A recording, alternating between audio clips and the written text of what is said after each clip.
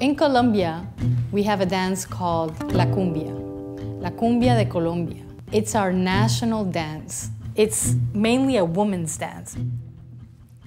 When I came to the US, I brought a version of my flag, I brought the cumbia dress, I brought my music, I brought my flowers, my hat, my jewelry, all my dancing gear, and I brought the cumbia with me, not thinking that I would dance it again, but thinking that I needed these objects to remind me of who I was. When I left Colombia, I had all the intentions of going back. And I didn't go back.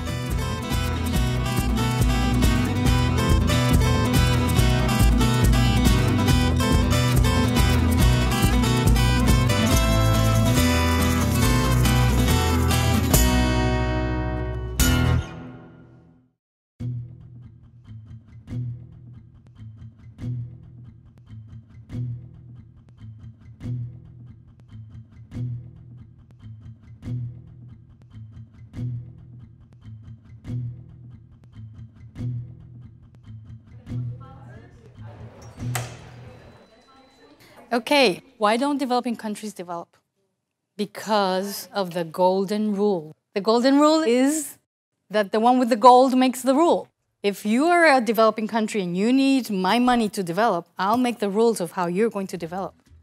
At Georgetown, I teach information and communication technologies for development. This is a course about how technology affects the quality of life of people and how to use technology to solve some problems of development in the global south when you're implementing technology in places where there might not be electricity or there might not be internet. That comes with a lot of challenges. So if we're implementing technology in a refugee camp, I had to think about what kind of mobile phones do these refugees have? Do they have mobile phones? You know, is this solution something that they actually need? And so to have to work through all those questions was really helpful. This course has to do with my dissertation. It has to do with what I believe in. It has to do with my career, with the jobs I've had. It's so intertwined to what I do that it's almost my fourth baby, if you will.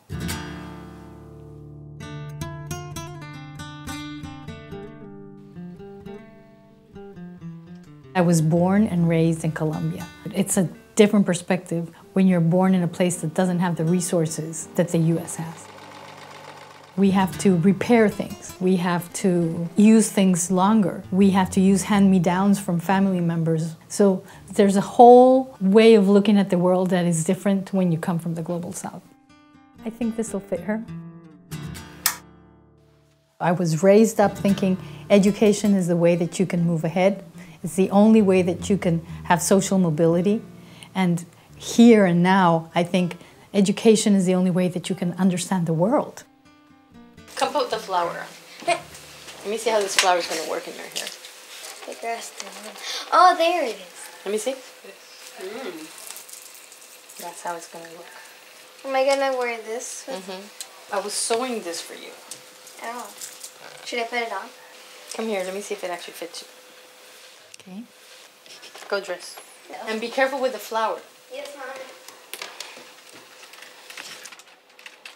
I didn't even know much about her background. And then we started talking about her research, and I was like, wait, you brought the internet to Colombia. Wait, why didn't you mention that at the beginning of class, like in your introduction? I would be telling everybody. I was a woman in a group of men that brought the internet to Colombia. And because I was the only woman, I was called the internet girl. And I used to walk around pregnant with my son, talking about the internet. And so they said, oh, the internet girl is pregnant, and she's going to tell us about these new internet things. So it became a, a very strong image that I was pregnant with an idea, and I was going to tell them about it. I became a mom with my first son, Martin, and it changed my life forever. I became a mom again, and I had Aurita. Then at certain points, I thought I couldn't do it. I couldn't be able to hold down a career and raise my kids. So there were moments in which we felt insecure. I didn't feel that I had the bandwidth to do it all.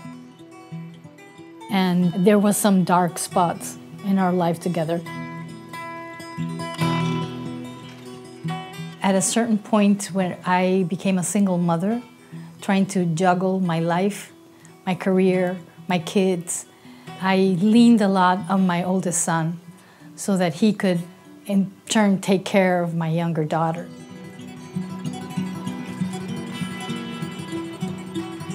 he assumed the role of fatherly figure for her early on. And I think that's why this photo is, is good because it shows us coming into the light from the dark and moving forward together as a team.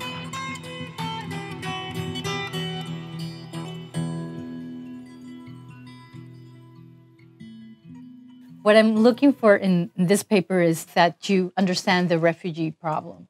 It is inspiring to be around a woman who has had such an impact, especially since she was implementing this technology in the 90s when it wasn't as common for women to be in technology. And I think that's something, again, that I aspire to do to really, you know, invest my career in something that isn't necessarily a, a traditional path. Ahorita. Mm-hmm. I'm going to teach you something today.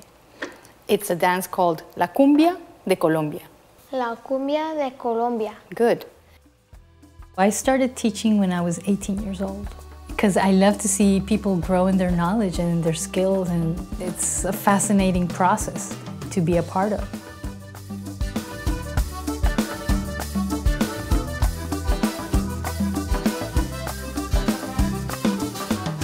I do think that the role of the professor has changed from being the expert in something to being a coach and to being more of an equal who has a lot of experience.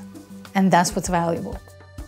I include my students as part of the solution to the problems because I think they bring a wealth of culture, experience, background to the table that is complementary to mine. I'm not the expert, I don't have the answers, but I will coach you, I will mentor you in trying to solve part of this puzzle together. And that's where the future of education is moving.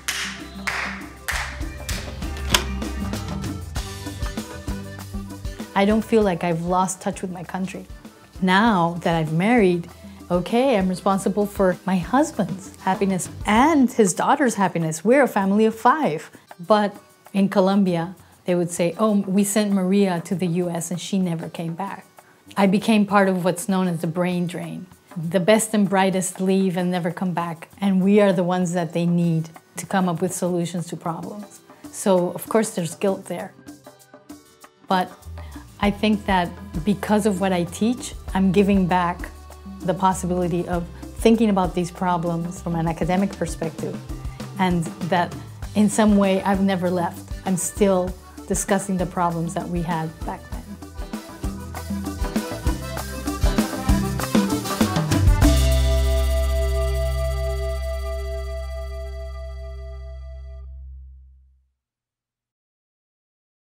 Rowan.